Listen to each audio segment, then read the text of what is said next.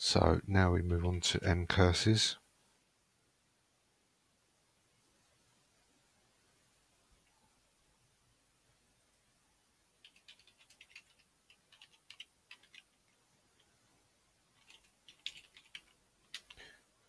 and configure it.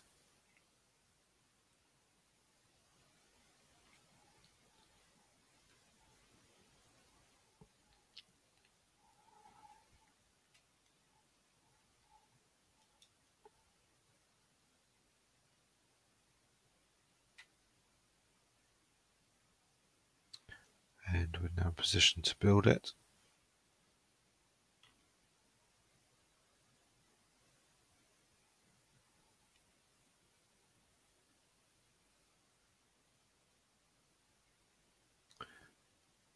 Okay, so now we can, it says the test suite can only be run after the package is installed. So it says see the README file in that directory for further details. So let's install this now.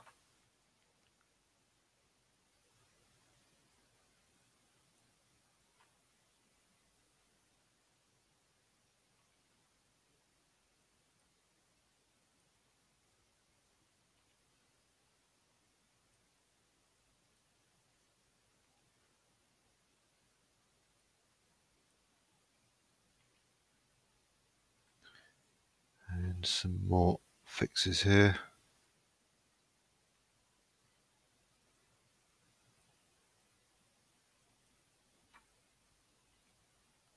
And some documentation. Um, there's something there about uh, an earlier version of the ncurses libraries if that's required. So there's no actual instructions for running the tests here. Um, which kind of leads me to think that it's probably not advisable. Okay, we haven't got less here.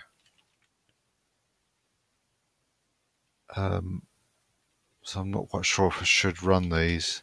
Um, there's no indication as to what we can do. Oh, we can try worm, I guess.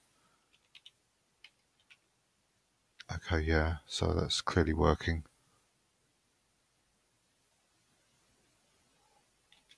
Uh, yeah, Q to quit that.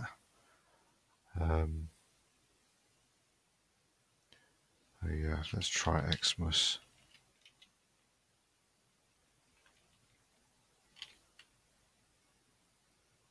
Okay, so it looks like that works okay. I'll just press enter there. So it seems like any key will abandon any of those tests. So, yep, that looks fine. I think it's okay to carry on.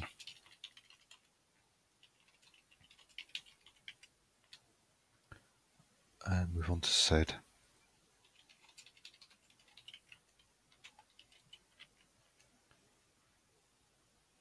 So configure.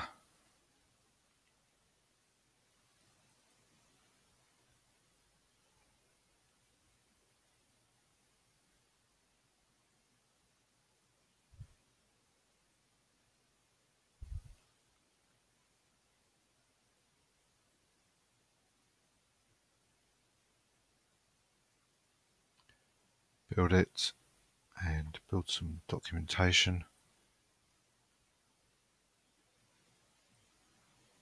Test the results by changing the ownership to the tester and running that command.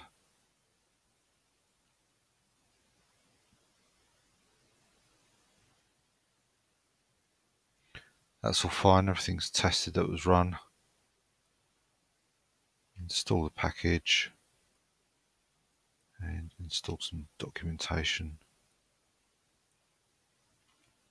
And that's sed complete. So PS MISC next.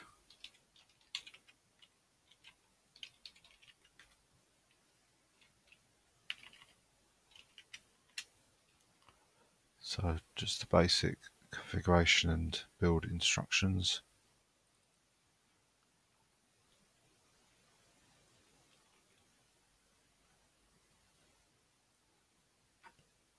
Run some tests. All looks okay. Install the package. It's done.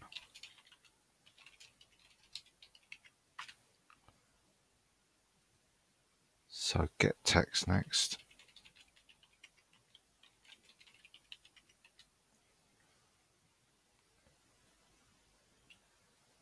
Configure.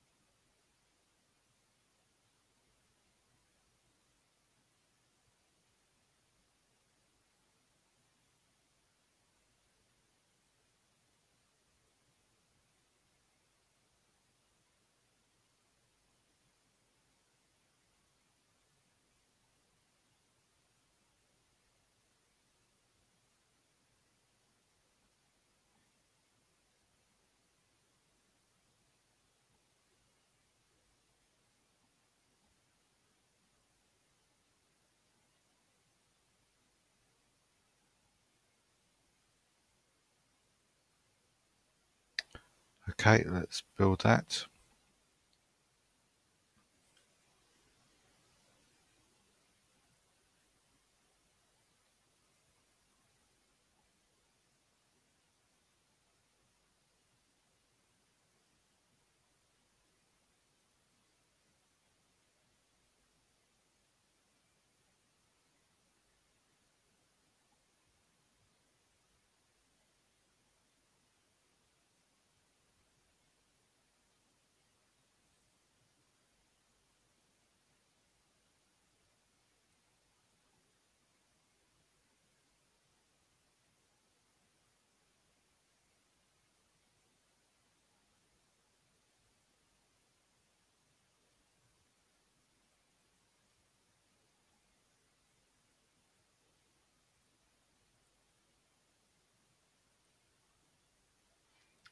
Okay, we can test this now.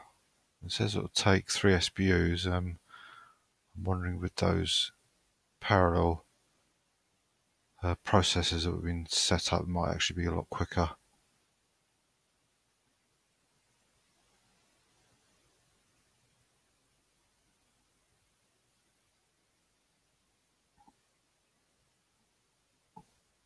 Yeah, that was pretty quick.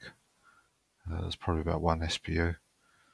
So let's now install the package.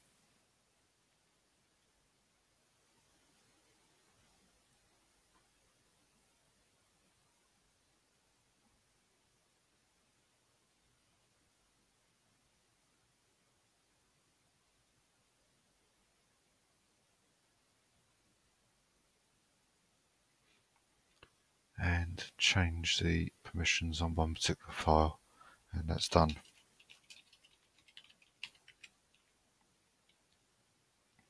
So move on to Bison now.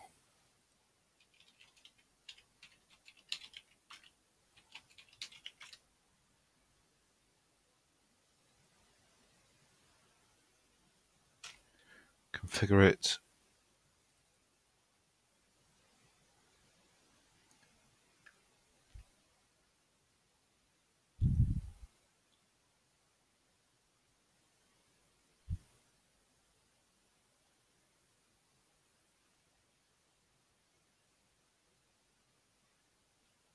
Build it.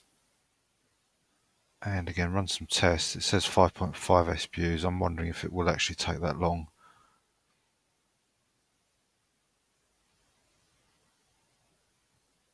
It does look quite fast to me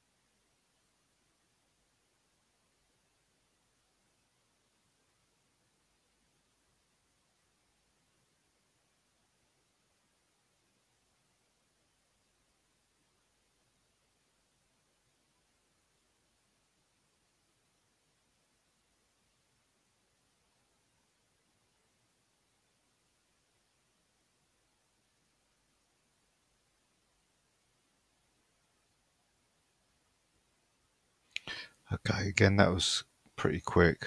Um, probably about two SBUs maybe. But we got all passes of the ones that were tested, so let's install and that's Bison complete. Moving now to grep.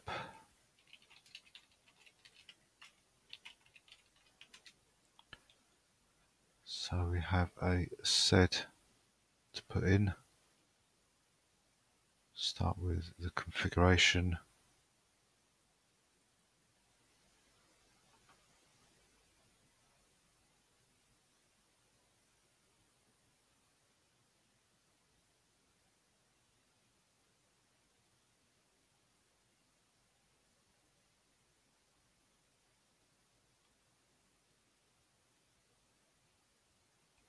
and build it. Okay, run some tests.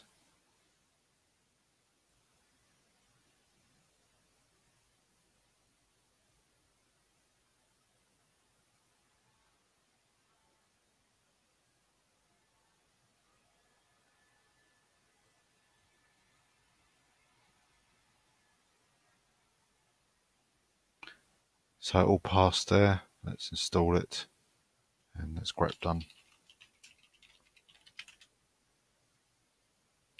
So now on to bash.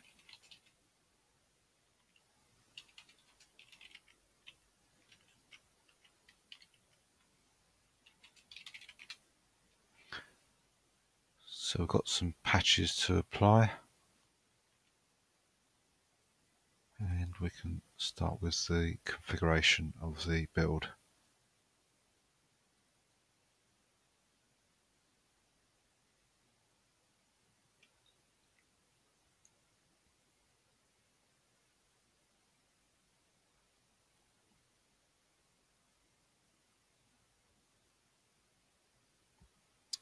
So build it.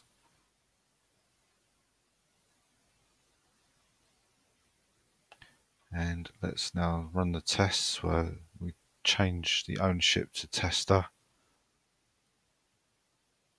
And we put all this text in to start the build.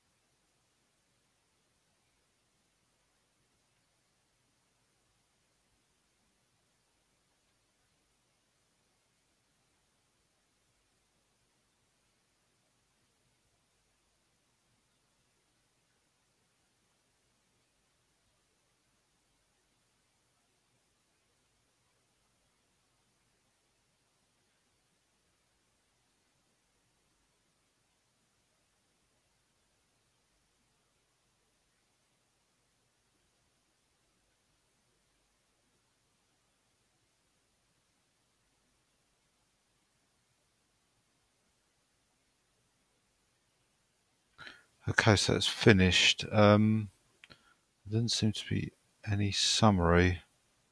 I didn't notice that there was any errors that occurred. Oh, is there one here?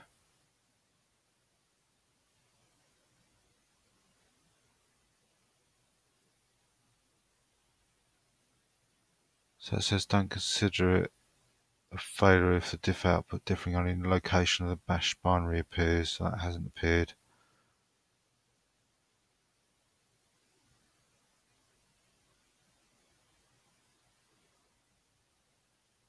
Um, visually there looks like there's no difference there. Um, in the book it does say that test suite uses diff as it does here. Um, any output prefix with a less than and a greater than. So for example, that indicates a test failure unless there's a message saying that difference can be ignored.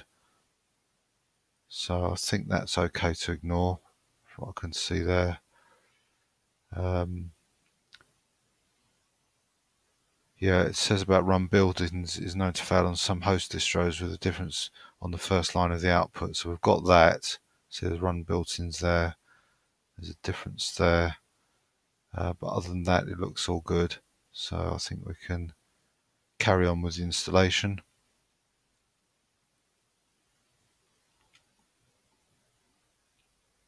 And run this final command to relog in and use the new binary that we've just created.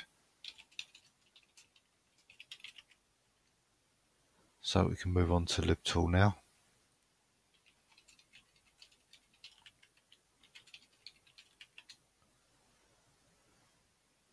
So configure.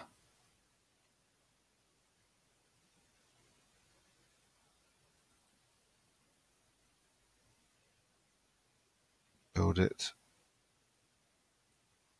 Check the results.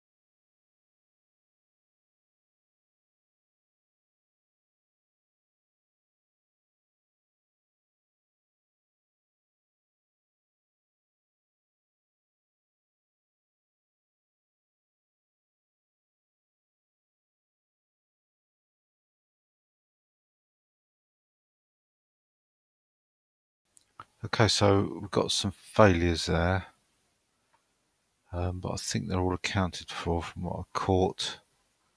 So let's go to the top and just scan down. Quite conveniently, they've been highlighted. So it says we've got five known to fail due to a circular dependency with automake, and additionally with grep 3.8 or newer, two tests will trigger a warning for non-positive regular expressions and fail. So we've got one there. There's the five that are probably failing with automake and we've got this other one here on its own. So all those errors are expected at the moment. So once again, I'm going to rerun libtool after I've installed it. Sorry, rerun the building and testing of libtool after it's been installed and after its uh, automake has been installed. So let's now install this for the time being. And remove a useless static library. Tidy up. And I'll center click this GDBM so I'll retain the tab in the browser reminding me that I need to go back to carry on after um, automake wasn't it? Yeah it has been installed. Build that and retest it again uh, so GDBM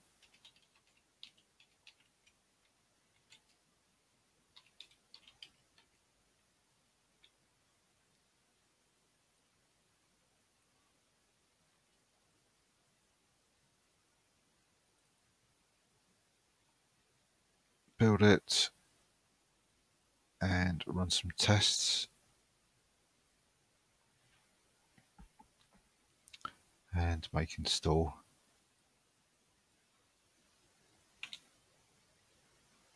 And that's done.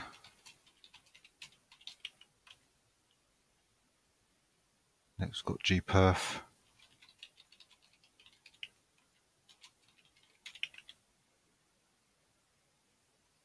So again, these are quite simple, these smaller packages, or generally they're simpler.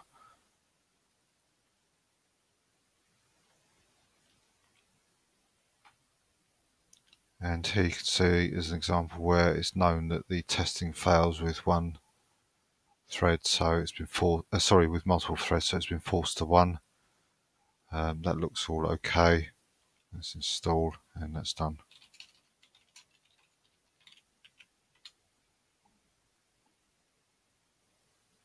Expat's next.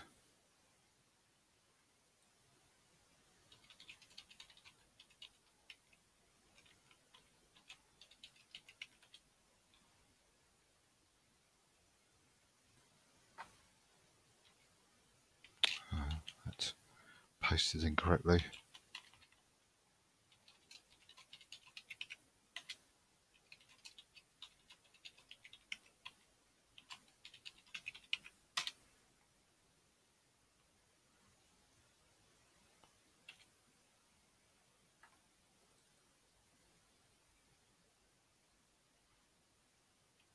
So build it, run some tests, all good, install it, and that's done. Uh, oh, let's didn't go to the bottom, so we can install some documentation.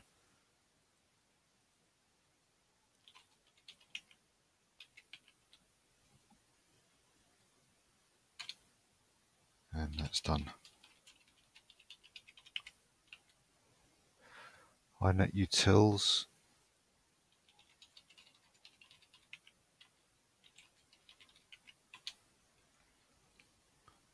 so run this configure command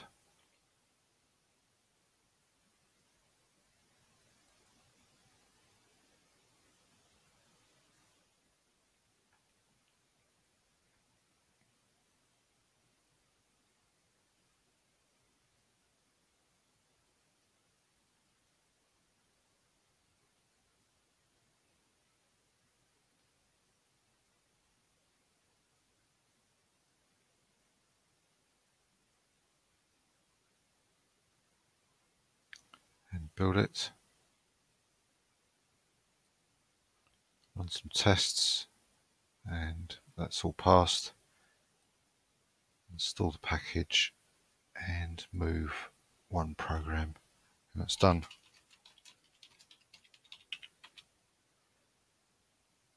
So less next.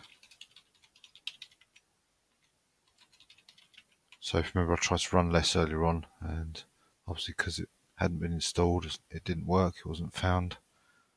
So now we'll have that functionality after this has been built and installed. So that's configured, build it.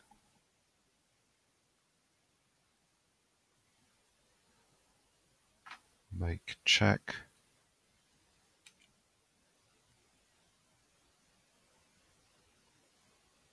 Ran 13 tests with zero errors, so we can install the package.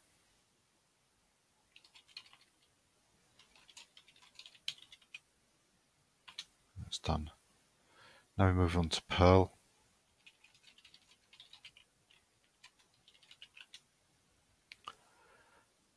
So this version of Perl builds compress raw lib and compress raw bz2 modules by default. Uh, sorry, modules by default. Perl will use an internal copy of the sources of a build. Issue the following commands that Perl will use the libraries installed on the system.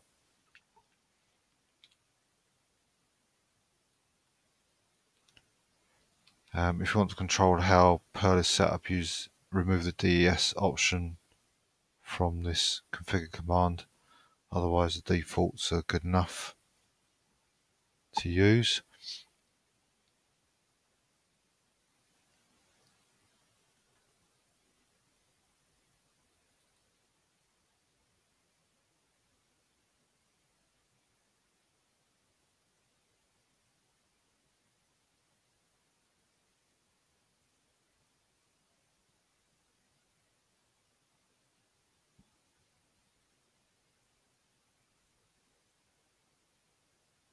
Okay, it's done. Let's build it.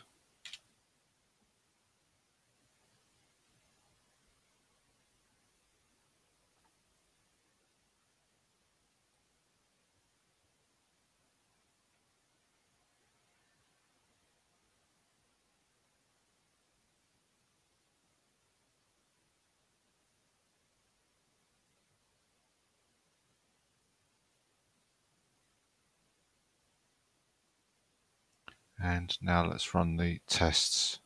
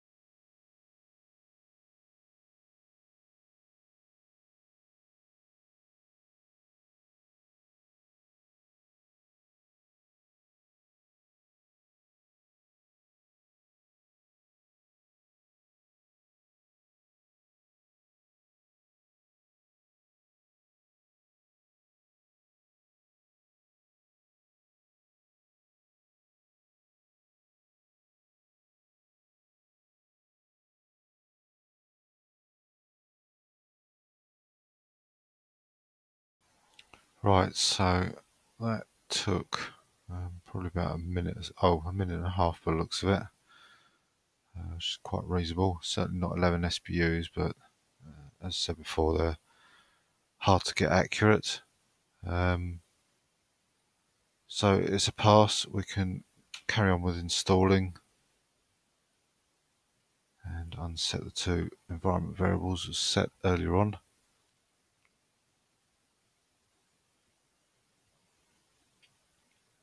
And tidy up.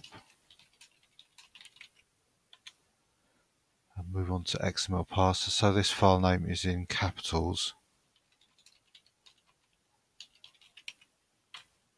In case you try to type XML in lowercase and can't seem to get the autocomplete to work or even extract the file if you type it out in full. So run perl makefile.pl build package,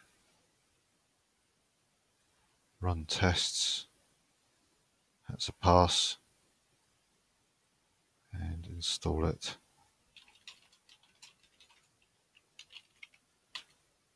And move on to Intltool.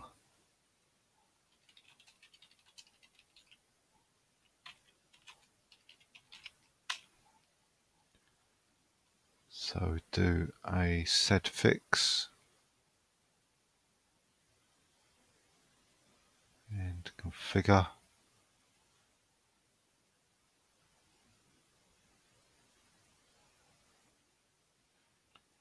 Build it. test it,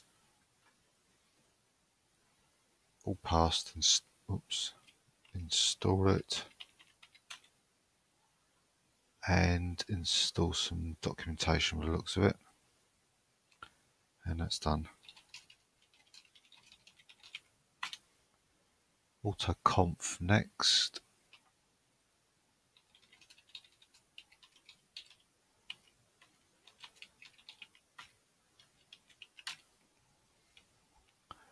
So configure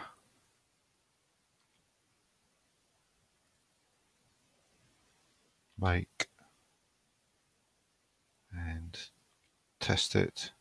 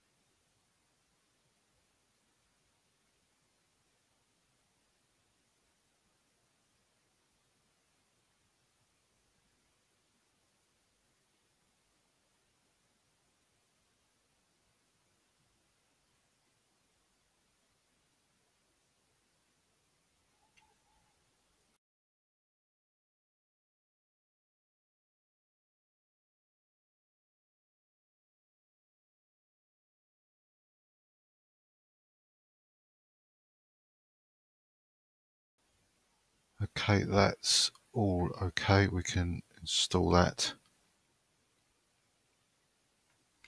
And that's done.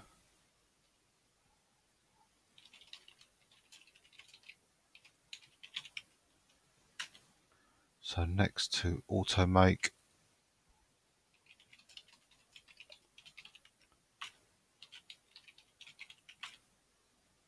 and we can run this configure command.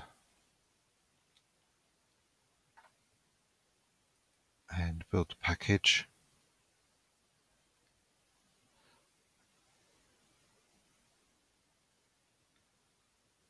So what we've got here, this make command. So it looks like it's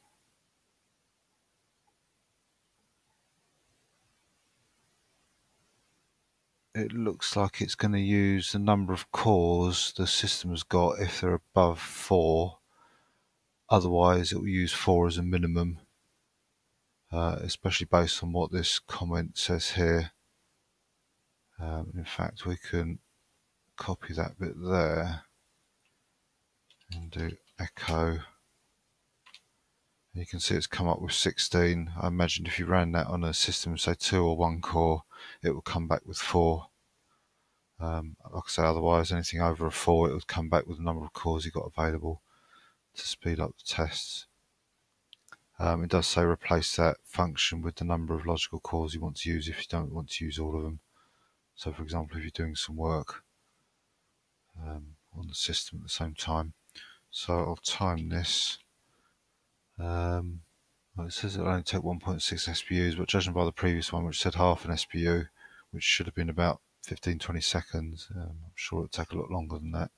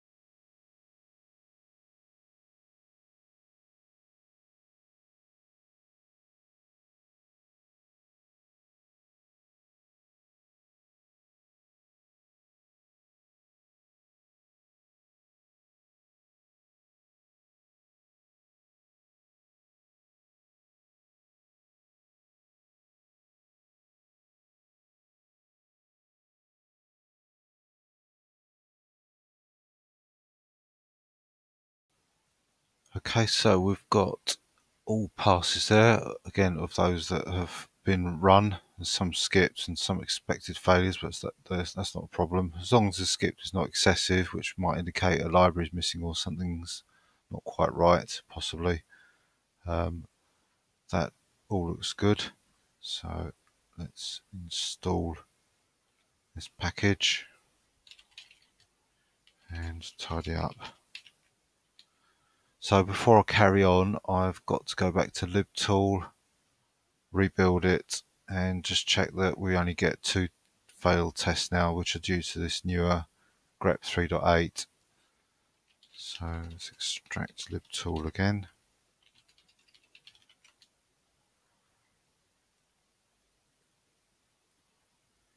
Run the configuration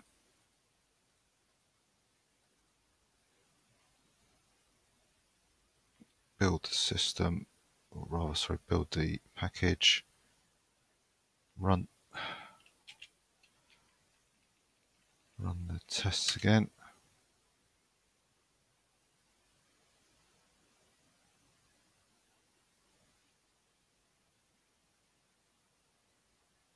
So there's one failure, this number 66 we had before.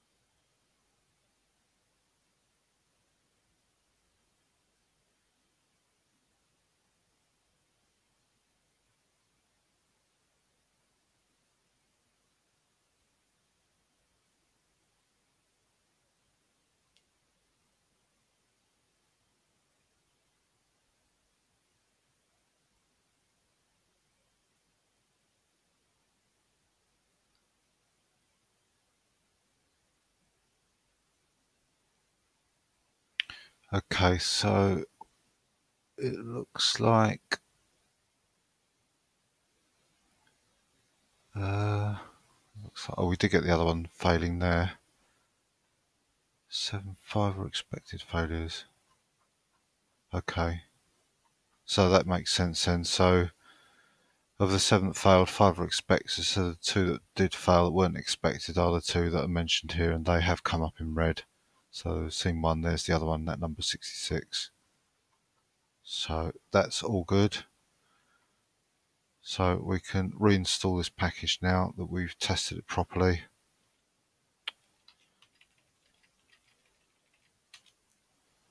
And again, remove this static library that's been reinstalled and that's libtool done with now.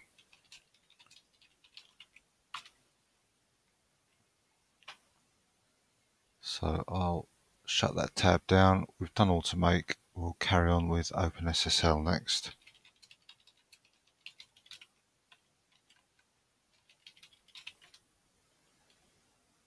So run the configuration.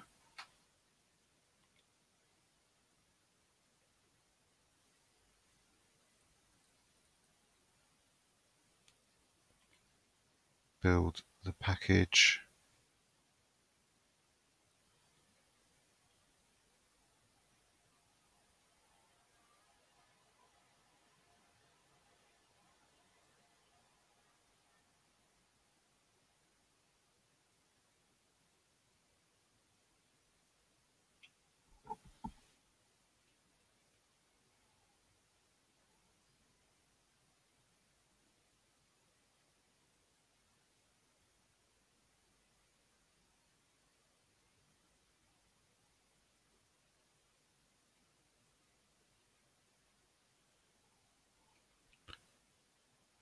Okay, that's done. So we'll run the tests now.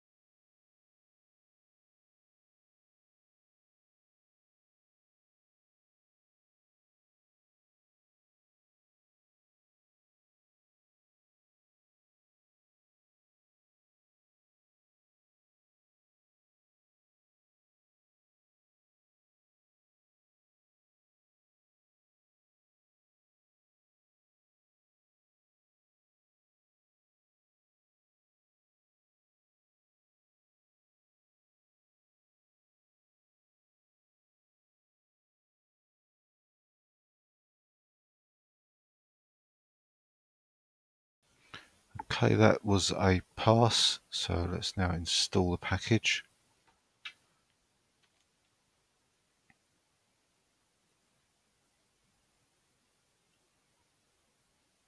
Oh, that's not worked again.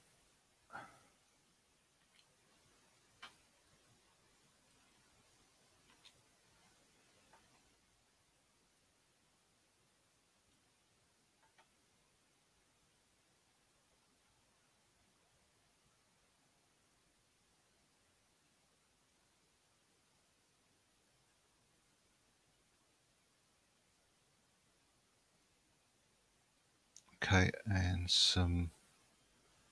Uh, I'll change the document directory to be versioned and install some additional documentation with that command, and that's done. Next, we've got kmod.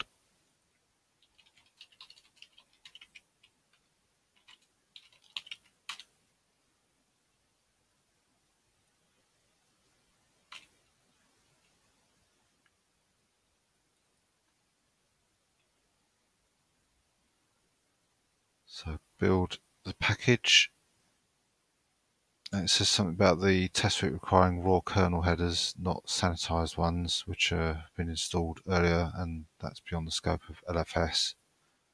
So install the package and create symlinks for compatibility with module init tools. That was the package that previously handled Linux kernel modules.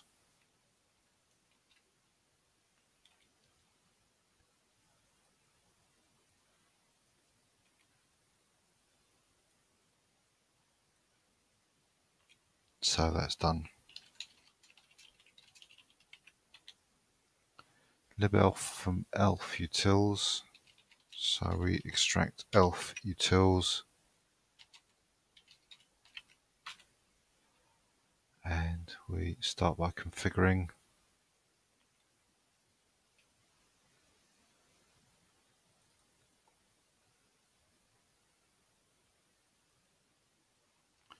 and building it.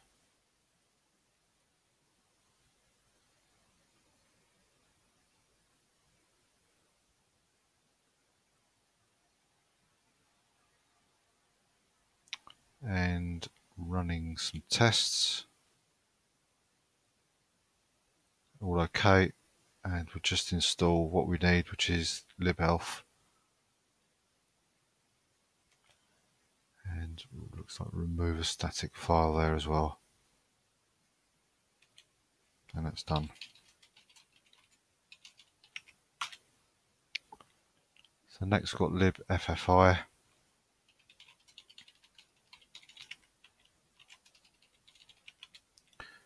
So it says there like GMP libffi builds with optimizations and how to get around that if it's important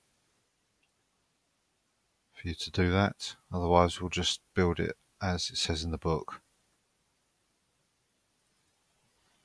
So that's configured. Let's build. All done and some checks.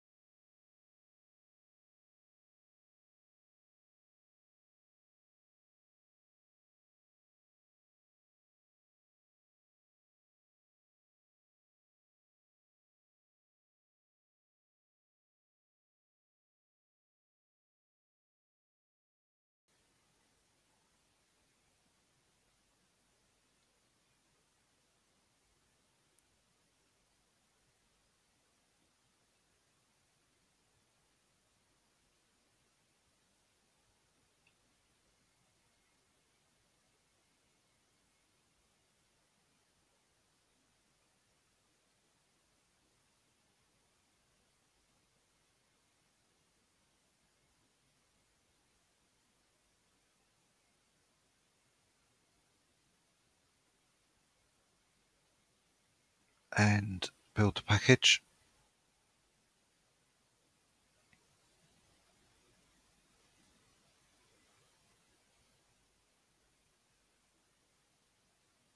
So first set of tests are meant to be run as root, so we run it like that, and that's okay.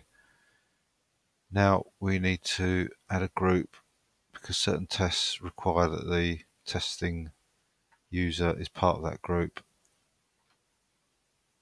and we can run this chown command to change ownership of the files in the directory to tester and finally run this command to perform the actual tests.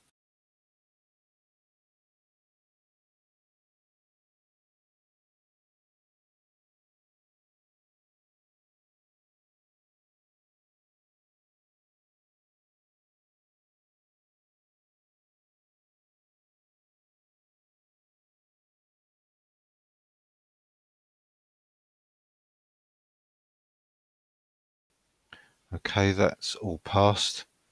Remove this dummy group and install the package and move some files around to comply with FHS.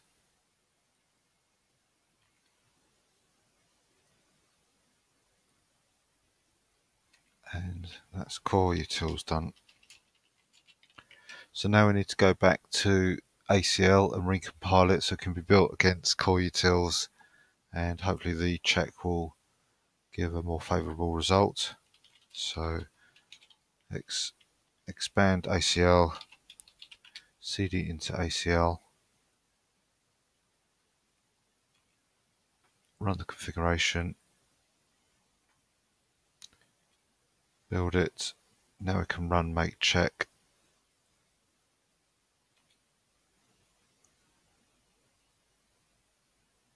so we've still got some failures here, three failures.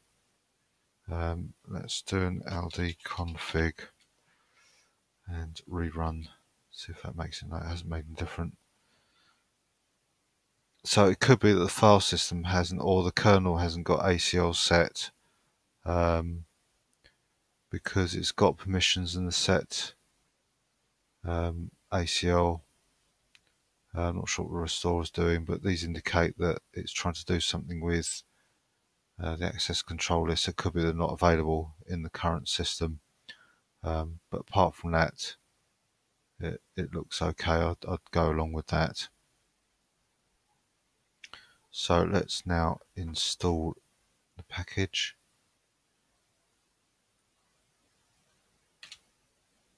And we can consider that complete. In fact, it does say that the ACL test must be run on a file system that supports access control, so it could be they need to be turned on, or as I say, there may be something in the kernel that needs to be switched on uh, to allow that. So I'm going to shut that down. We're back to core utils, which we're done. Move on to check next.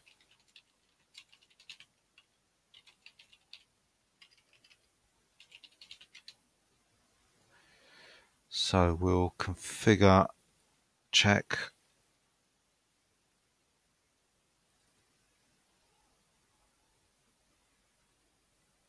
build it.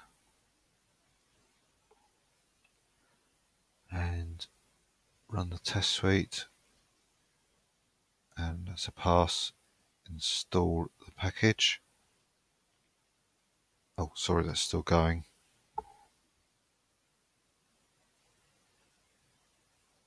Okay so what's going to happen at the end? It's going to install straight away so I'm going to have to try and um, well, scroll back, I suppose, and see that the tests were indeed a pass.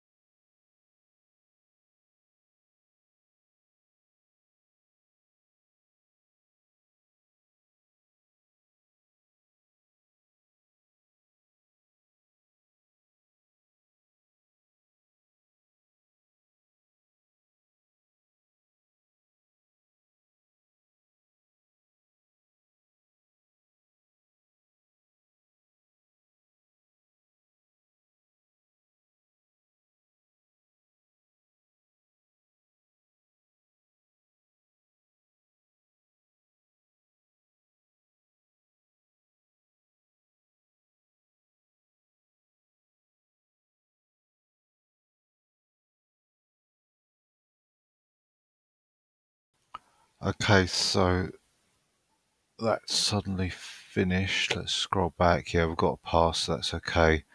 And the installation command I typed or pasted in too early has succeeded, so that's all finished.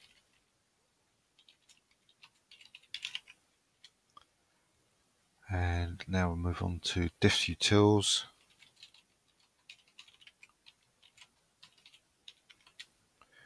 So this is a basic installation commands that we put in here.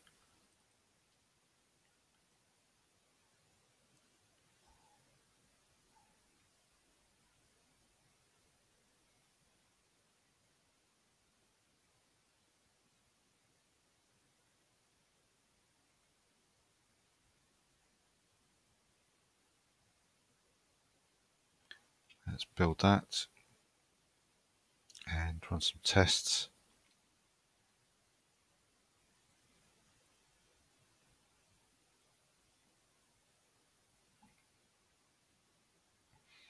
And that's all passed. Let's install it and that's diffutils done. Move now on to Gawk.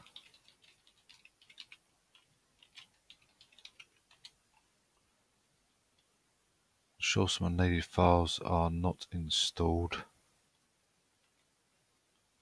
And run the configure.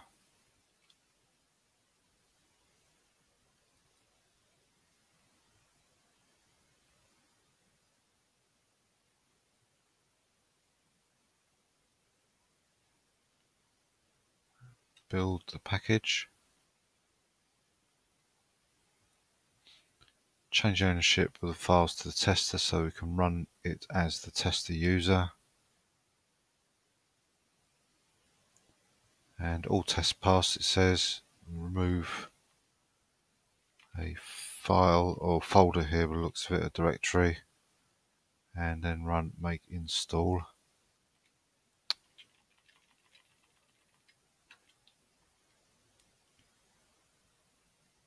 And now we need to create a symlink for the man page to awk and install some documentation.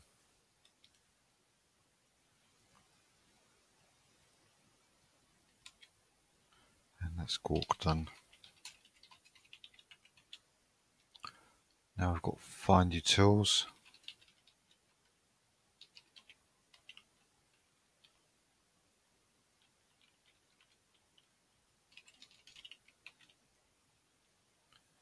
So configure the package.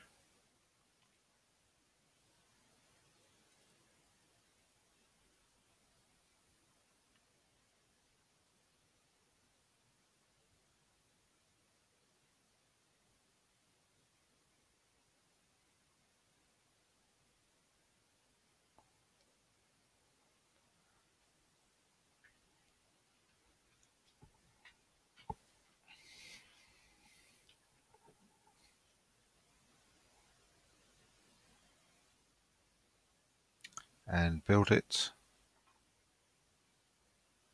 Run the tests by changing to the tester user and running as the tester.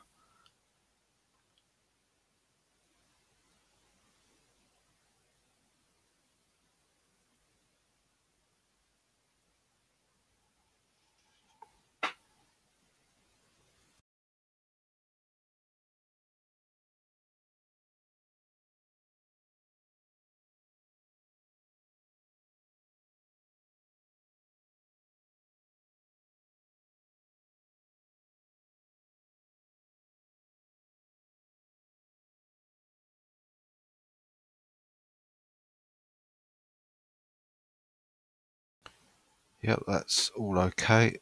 So we can now install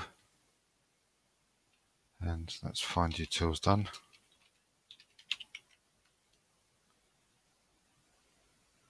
Move on to Groff.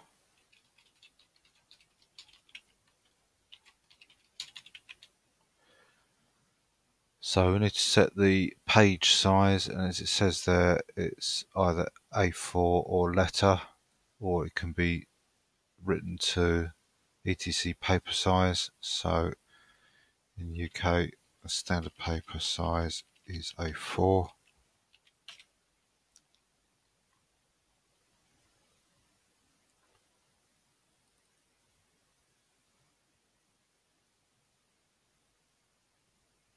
So now we build the package.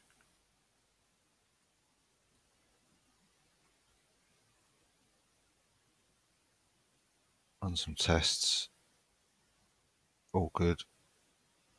So let's now install and that's done.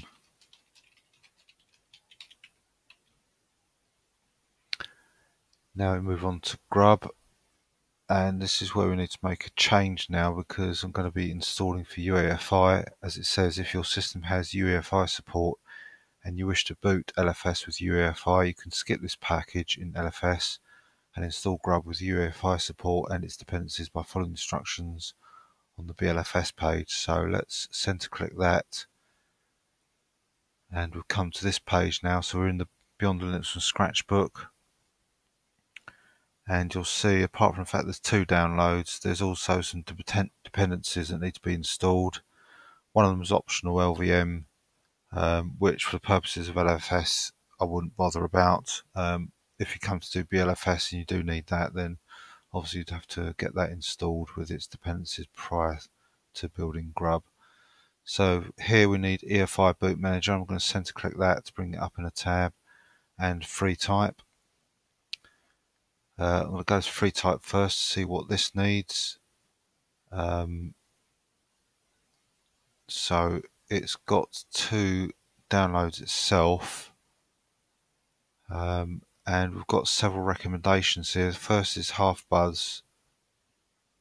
Um, after it's installed, install FreeType. So we've got a circular dependency here. Um, I think I can't remember if it's necessary to actually build these, but I'm going to do it anyway because they are recommended. So we're going to have to build HarfBuzz, libpng and which. So we'll jump back to which, that hasn't got any dependencies. So let's start by installing these. Now what I might do is to keep these packages separate from the main um, Linux from scratch packages. So I'll call this um, UEFI and change into that. And we haven't got wget here, I don't think. So what we'll have to do is to go to another tab, become root, change into the MNT LFS sources UEFI directory and we'll have to fetch these packages from here. So there's which, we've got to remember to switch back and do the building in this tab. Otherwise we'll be building it on the host system, which is not what we want. So now we can extract which, change into it, and build it with these commands. Now you can chain these commands are chained together with double ampersand, so we can just copy the whole lot in. It's the way it's done in Beyond Linux from scratch.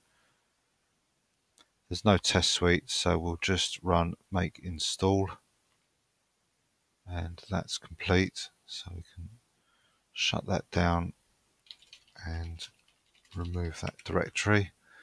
Next we've got libpng. There's no dependencies for this one, which is good. So Let's now fetch the package itself and a recommended patch uh, to include animated PNG functionality if you're going to uh, use libpng with Firefox, SeaMonkey and Thunderbird. Well, it's only a patch, so I may as well install it, download it and install it. Uh, it's only going to take a fraction of a second to uh, use that modification. So we'll go back to our LFS build and extract libpng.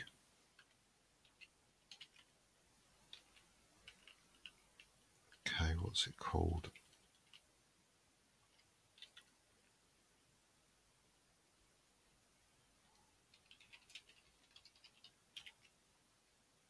Forty-two, right? Okay. So the patch number's got a slightly different version. Uh, the package we're building's got dot forty-two, and the patch has got dot forty. So let's apply the patch. And now build libpng.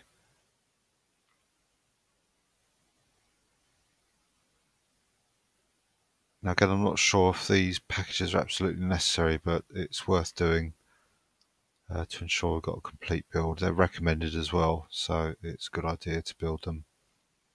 So just running the tests at the moment.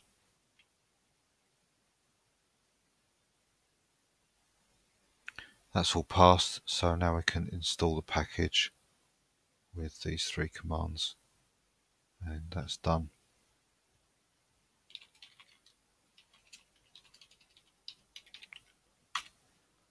So that's done, let's shut that down. Now we can install HarfBuzz, so let's fetch it. Now this has got recommended dependencies, but it's going too deep into uh, Beyond Linux from scratch, so I'm definitely not going to install these.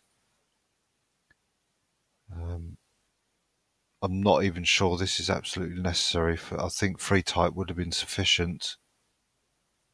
Um, unnecessary to install HarfBuzz and, and the other recommended dependencies, but there you go.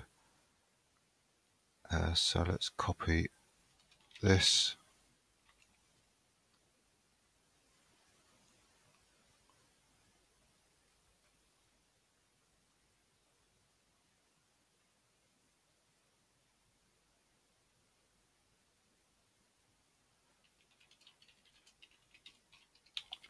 Uh, not here, we need to do it in the there's some scratch tab.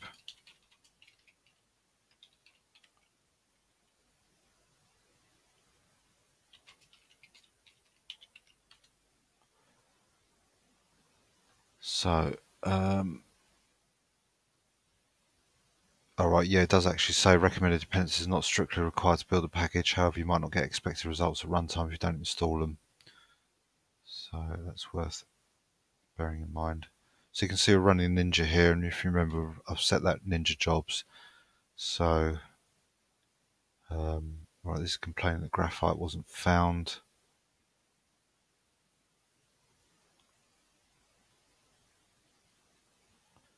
So what we can do here is to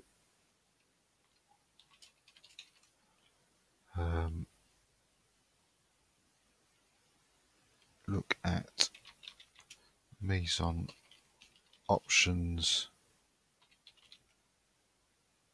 Uh, sorry, Meson underscore options and look for graphite option. So graphite 2 we've oh its default value is disabled so not sure why that's being complained about. Oh right, okay, there's an option there that's setting it, so let's get rid of that. Uh, okay. It's recreating the build directory, so we just get rid of that and run it from Meson setup without that graphite option.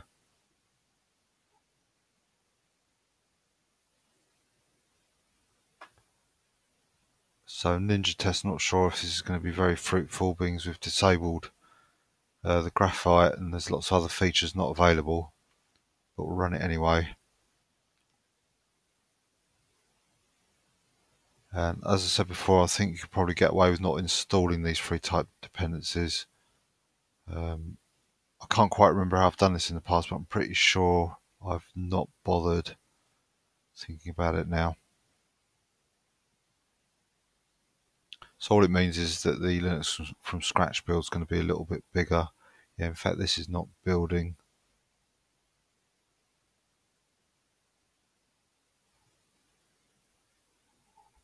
So I think I'm just going to ignore this and just build free type.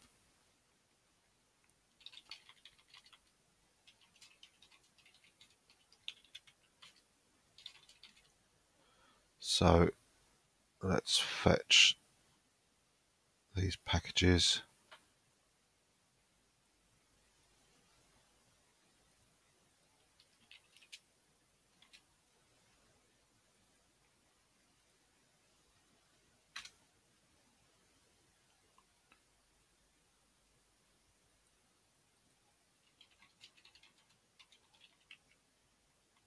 So there's free type. So extract the additional documentation that we've also downloaded and install free type or compile it rather with these commands.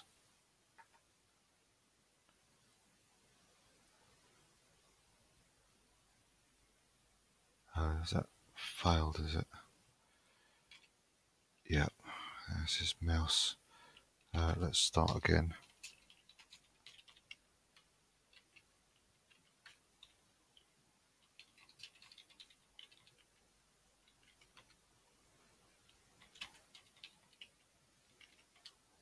Okay, so let's do that again. So extract the documentation, paste these commands in to build it.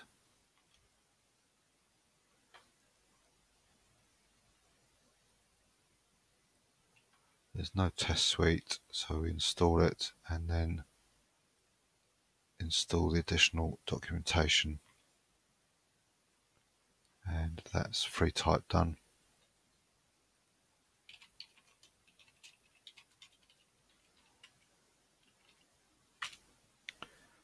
Okay, now we need EFI-var and POPT as dependencies of EFI Boot Manager. So let's fetch this one.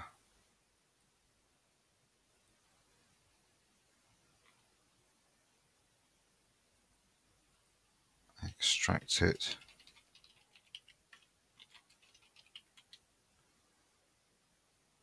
And build it with these commands here.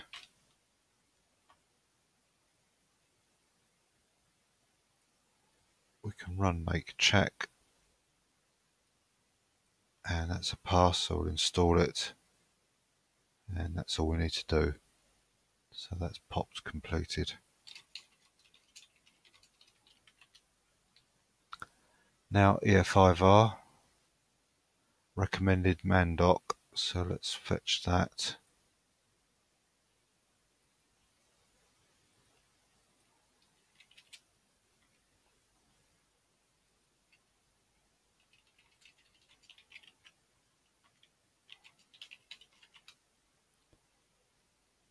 So we build it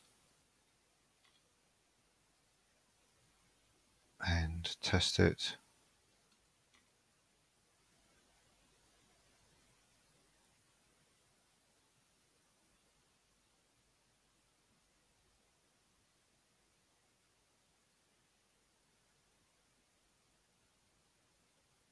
Okay, that looks like a pass and we'll install it with these two commands and that's mandoc done.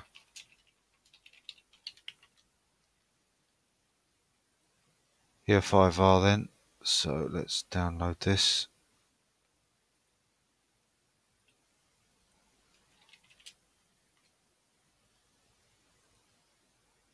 Extract it.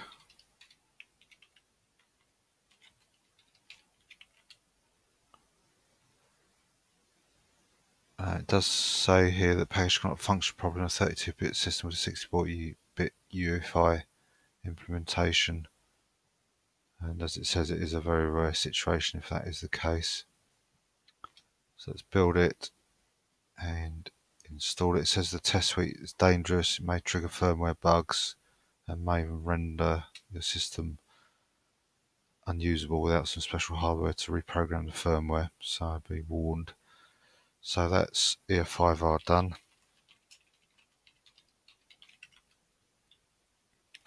Back to EFI Boot Manager. We've got the dependencies installed for that now. Let's wget that package, extract it.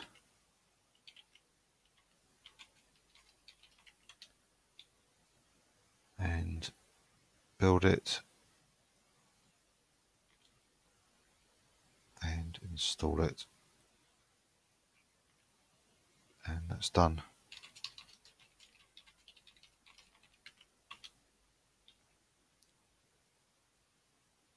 So we can get back to Grub. We've got the dependencies of Grub installed. So let's now extract, go back to the sources directory, extract Grub.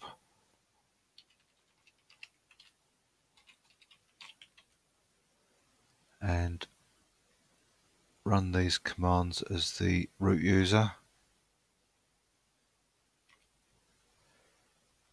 Oh right, did we not? Oh no, okay, we haven't installed, uh, downloaded this uh, Unicode font here, so let's fetch that. Oh. Have done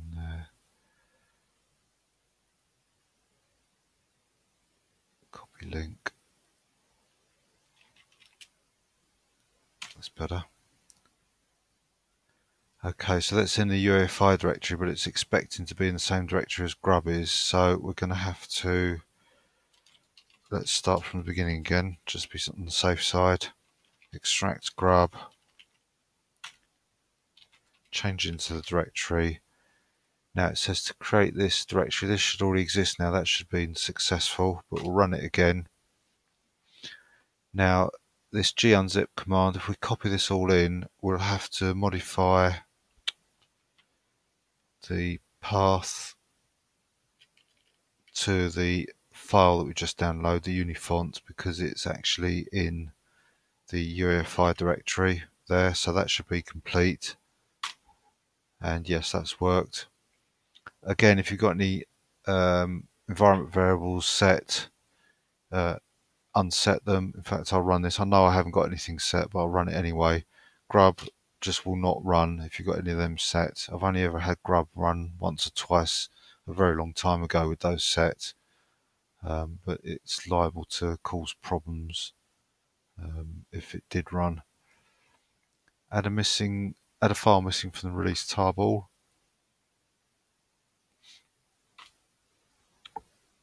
Uh, if you're running a 32-bit LFS, prepare a 64-bit compiler. We don't need to do that. Uh, we're on a 64-bit machine and build grub with the following commands.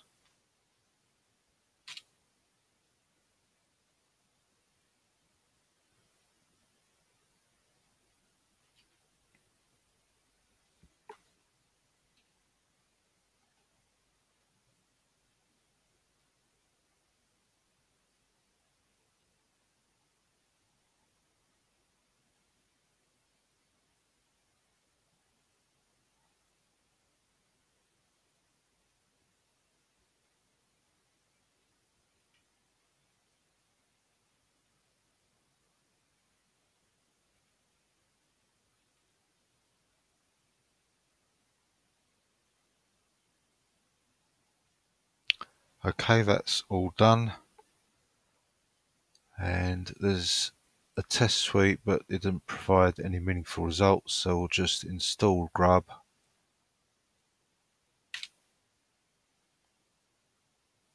And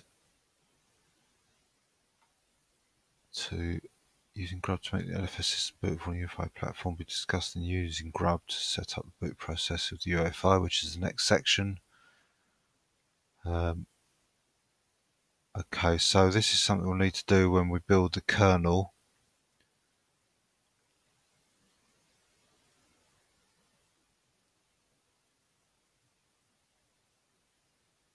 Yeah, we'll need to look at that when we build the kernel. So I'm going to leave that parked there, return to this page. I don't think there's anything we need to do here because it's all about, um, did we do the bash completions was that there? Yes it is. Um, this is all about installing grub on a non-UEFI system. So when we come to this section 10 use, using grub to set up the boot process that's when we need to go back to the BLFS book. So let's now tidy up grub and move on to gzip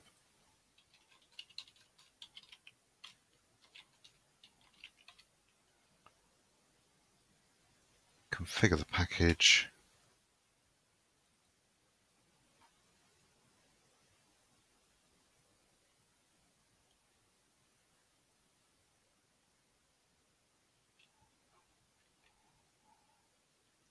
Build it. Run some tests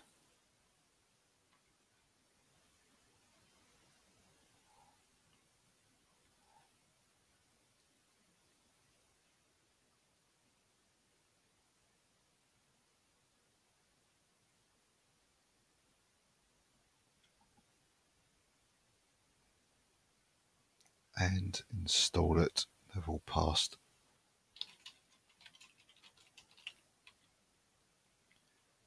So now we move on to IPRoute.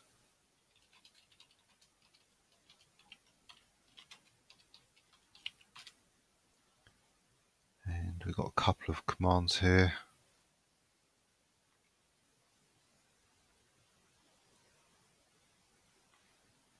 And we compile the package with that command.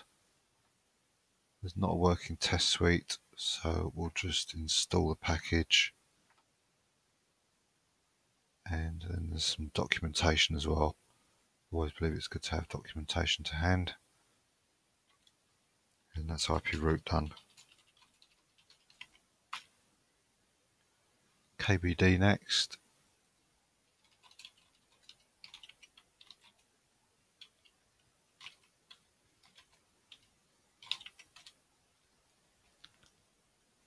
So we've got a patch put in. Remove some redundant uh, or a redundant program.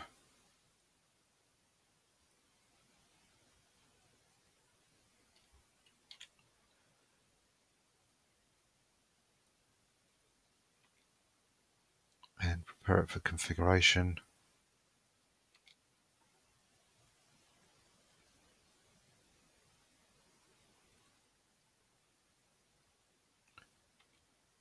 Build it, run some tests, and they're all successful. Install the package, and finally, we've got some documentation to build as well. So it's KBD done. Now we've got libpipeline.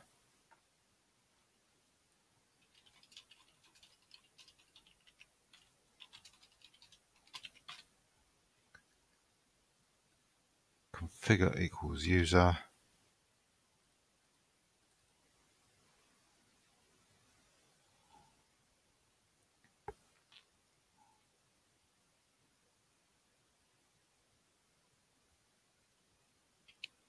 Make.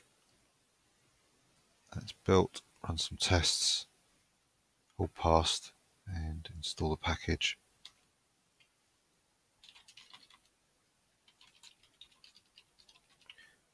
There's the pipeline. Now we go on to building make.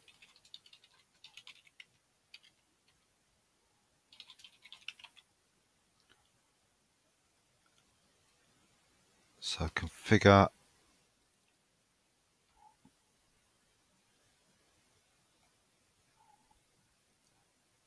build it, run some tests.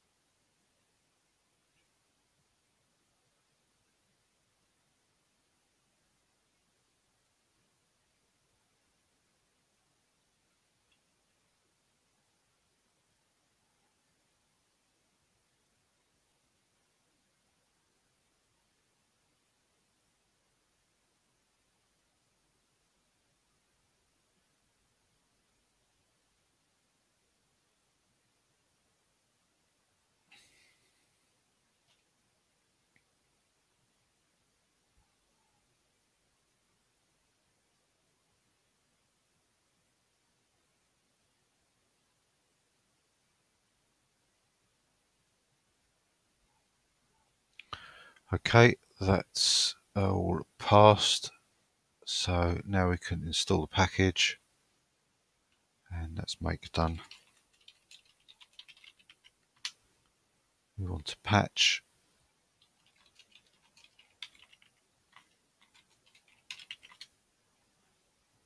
Prepare it for compilation.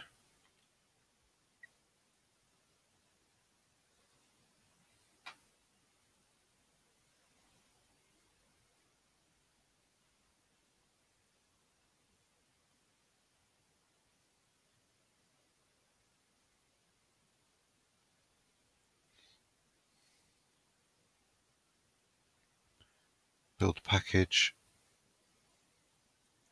run some tests, that's all passed, and install the package, and that's done.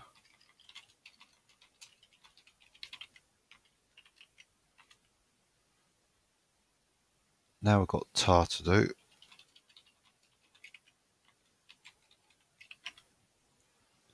So we start by configuring for the build.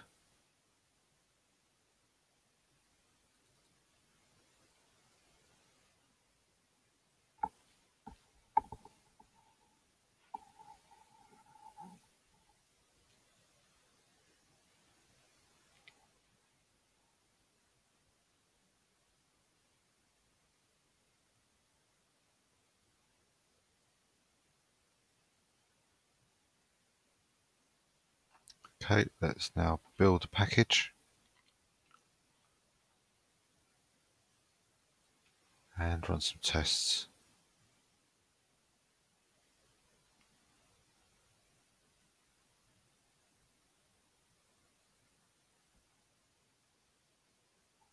Okay, that binary store restore is on the screen at the moment, the failure there, so that's expected.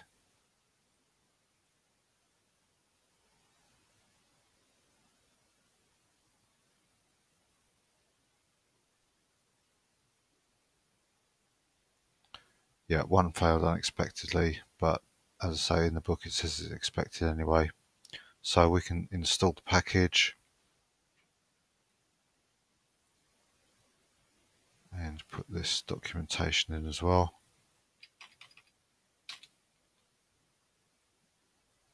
And that's tar finished.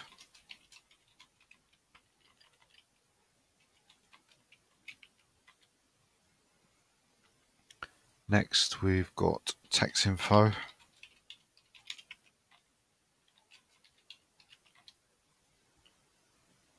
We can run the configure.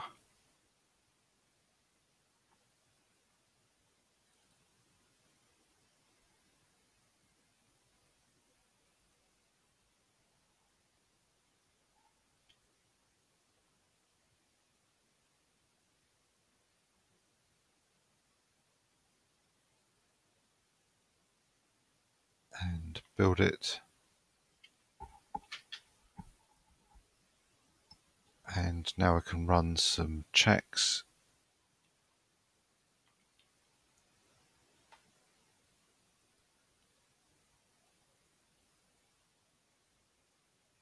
All look good.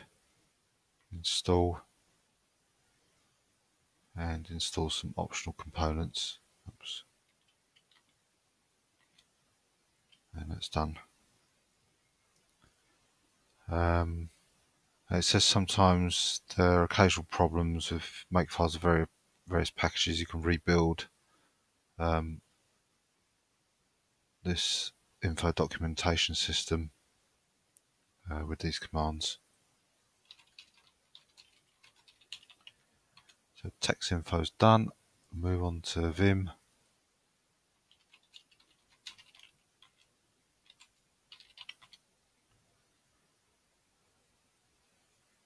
So change location of the configuration file, configure Vim.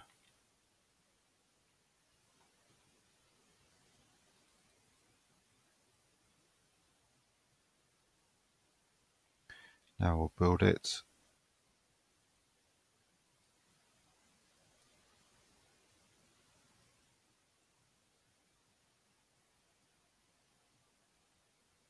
That's all completed. We're going to test it, so we'll change the ownership of the files to tester and then run the test as user tester. And you'll see that the output is being redirected to a log file, so we're not going to get anything put up on the screen while this runs. We'll just have to wait for it to complete.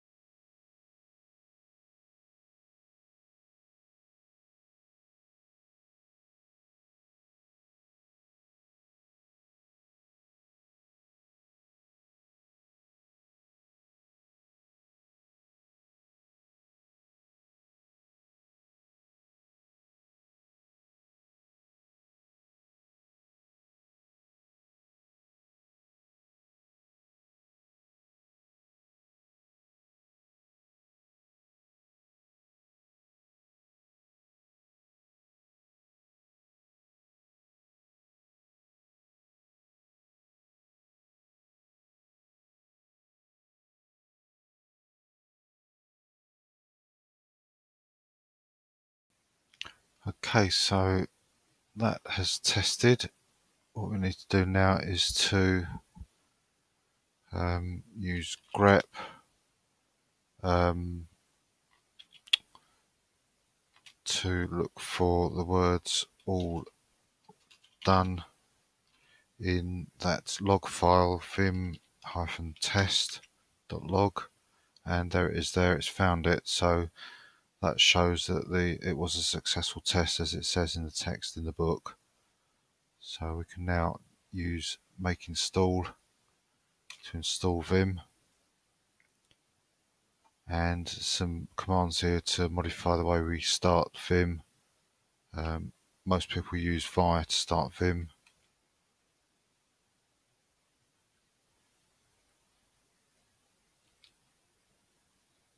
and there's another symlink to correct or alter the way the documentation can be accessed as well.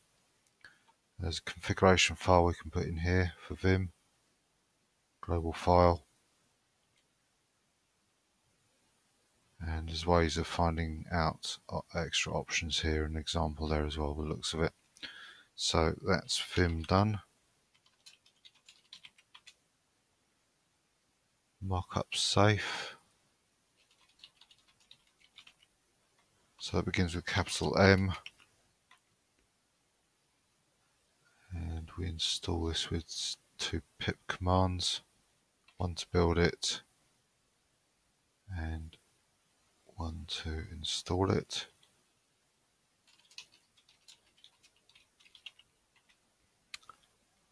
And now we move on to Jinja. Again, capital J. And once again, it's a pip command to build this and to install it.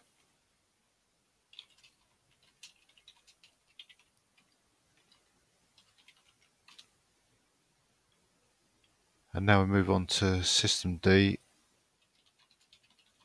So this is a bit that I could get lost with, but hopefully I won't because I'll be following the instructions. Um, so I don't normally use a systemd.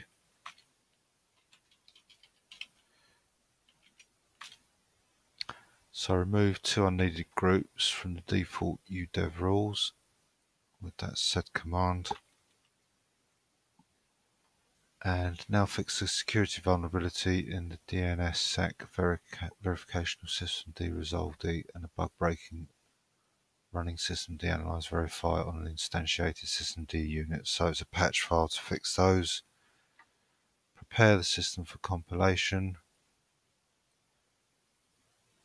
And uh, to be quite honest, this is one of the reasons why I don't use system D because it seems to be excessively over the top to achieve something that System V or System 5 can do in a much smaller package um, and arguments about it can start the machine quicker. Well, yeah, if you're worried about saving a few seconds, I'm, I'm not convinced by that argument myself, uh, but that's just my personal view. So that's in, uh, configured. Now we compile it with Ninja.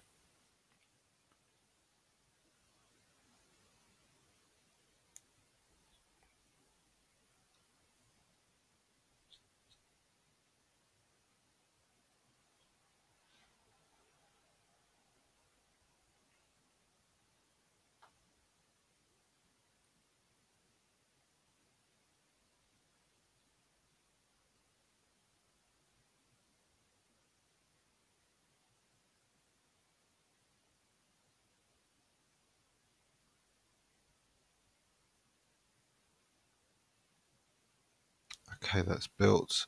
We install the package and install some man pages. Create an etc machine ID file needed by systemd journal D.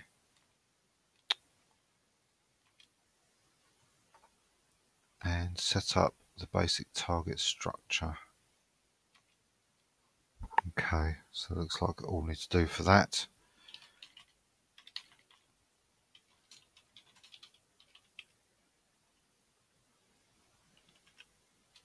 So systemd done. Now we move on to dbus.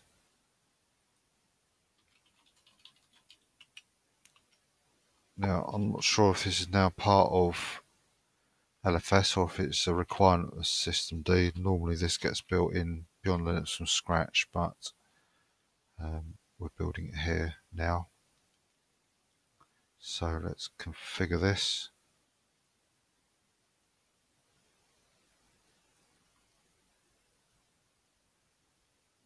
Oh yes, it is for System D. It says there.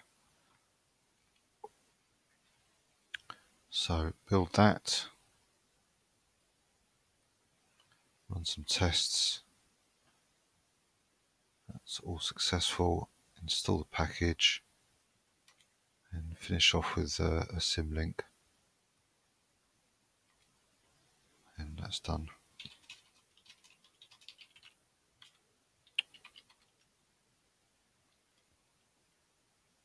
Onto ManDB.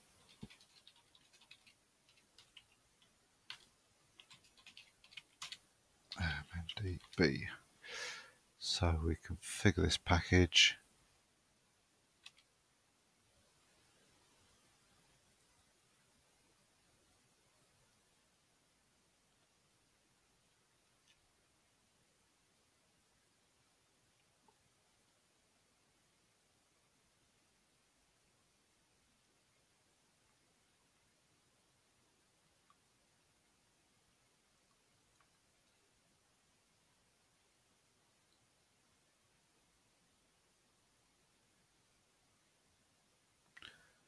So let's build it. Run some tests. That's all passed and we can install the package. And there's some information there about installing for non-English languages. So that's ManDB. Next we've got procps-ng.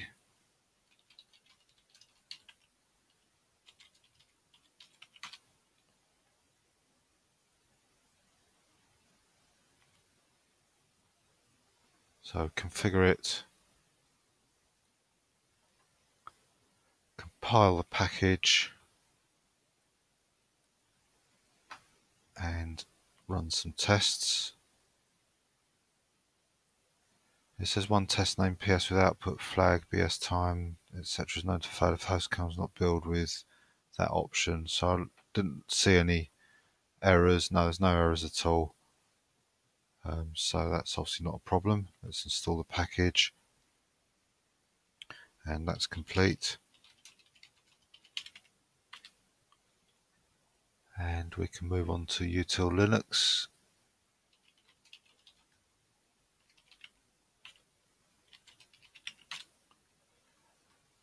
First we disable a problematic test with this sed command and then we can run the configure to prepare the build.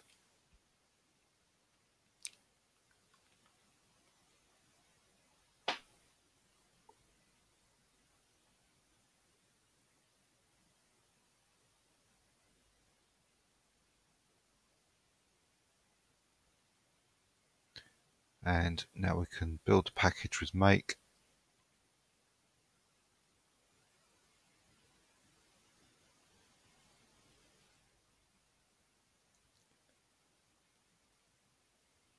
Okay, now, so if desired, run the test suite as a non-root user, and there's a warning here, running the test suite as a root user can be harmful to your system. To run it, the config, SCSI debug, etc. So we're not going to be doing that because that would entail modifying the kernel, rebuilding the kernel, which we haven't got yet. So we're going to change the ownership of the files to tester, and then run the test as tester.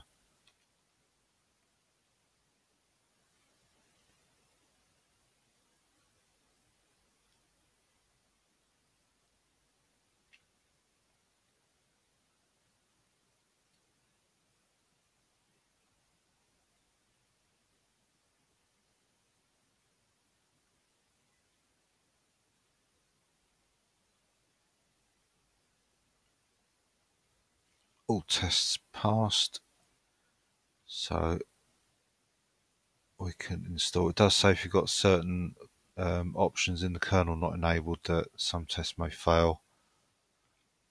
Uh, that didn't happen in this case. So we've installed that package. Let's tidy up util linux and move on to e2fsprogs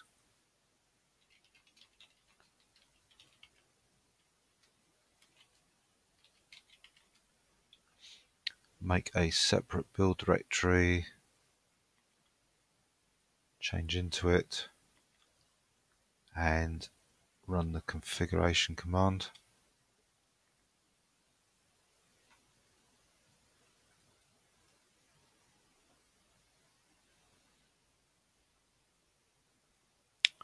So build it with make.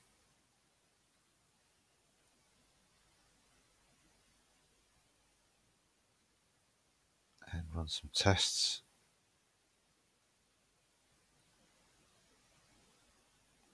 It does say one test is known to fail, so it doesn't necessarily mean it will fail, but if it does, it's not a problem. So yes, we did get that failure um, assume storage pre-zeroed. Uh, not sure if we can see that in. There it is there. Oops. That line there. So it just says it's known to fail with no reason why. So let's remove some useless static libraries and it says installs a gzip info file doesn't update the system-wide dir file so let's put these commands in to fix that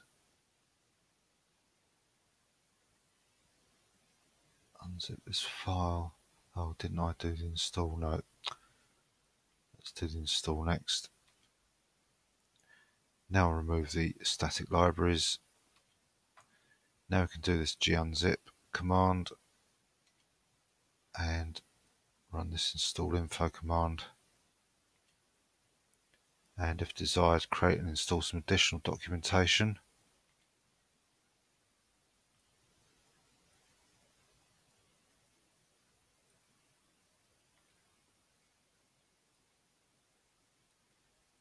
and that's all done um, configuring e2fsprogs contains the default value of various command line options you may edit the file to make the default values suitable for your need. For example, some utilities that aren't in LFS or BLFS cannot recognize an ext4 file system with metadata csum seed feature enabled. If you need such a utility, you may remove the feature from default ext feature list with the command. So that's probably not recommended to do that command um, from what that bit of text is saying there. So that's e2fsprogs done.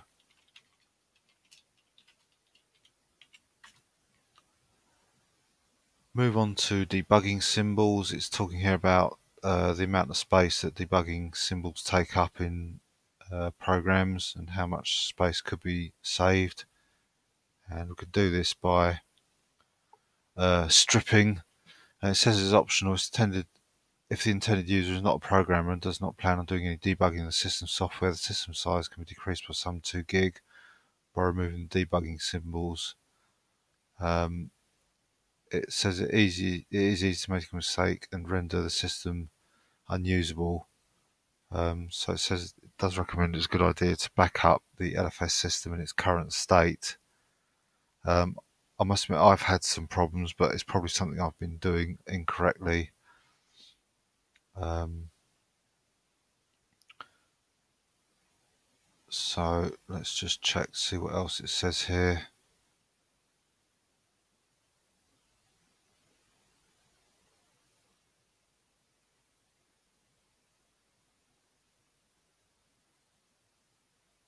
So it's explaining how it's uh, doing certain things to avoid problems. and if there's any package whose version is different from the version specified in this book, it may be necessary to update the library file name in save userlib or online userlib. Failing to do so may render the system completely unusable. Well, because I've installed extra packages from BLFS, I'm not actually going to run this stripping um, in case, from what that last bit there, in case that's not catered for. Um, and I'm not sure I've never tried this myself to modify this so I'm not going to do any stripping this time. I normally would do to save a bit of space. Um, but I think that's going to fail. As I say I've installed extra packages from BLFS and it's likely that it will fail or, or um, you know cause problems with the build that we've just done. So I'm just going to do these commands to tidy up uh, other files. These won't make much of a difference, they're just tidying them up for various other reasons. Um, remove this compiler that's been installed for chapter 6 and 7, it's not needed anymore. And delete the tester user. So that's nearly all the compiling done. All we've got to do next is to move on to system configuration uh, and then compile a kernel, finish uh, using grub to set up the boot process and that should be it done. So I'll be doing that in the next video.